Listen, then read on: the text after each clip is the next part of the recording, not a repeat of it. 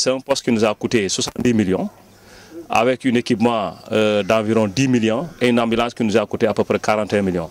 Donc si vous faites la somme de tout ça, euh, ça nous donne à peu près euh, 150, 160 ou 180 millions en termes d'investissement dans le cadre de ce poste de santé. L'autre chose qui est importante aussi à dire par rapport au poste santé, en fait c'est un poste santé qui est complet. On a l'habitude de voir des postes santé où il y a un dispensaire une maternité, tout simplement. Mais pour ce poste, c'est un poste où il y a dispensaire, il y a maternité, logement ICP, logement sage-femme, équipé à 100%, plus ambulance. Donc c'est pour éviter à ce que le poste soit dépendant par rapport à d'autres structures sanitaires. Donc euh, voilà, donc euh, c'est ce que je peux dire par rapport à, à ce poste de santé. Et vous y avez, et vous y avez installé un point d'eau également. et- Effectivement, il y a un point d'eau et il y a l'électricité aussi. Et là, on est en train de plaider avec euh, le gouvernement rapide.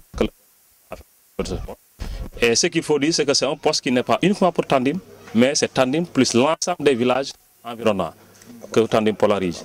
Donc à peu près 10 villages comme ça, 10, 15 villages qui polarisent Tandim. Et la même chose est en train d'être faite du côté du Kouram, qui bientôt peut-être euh, sera finalisé.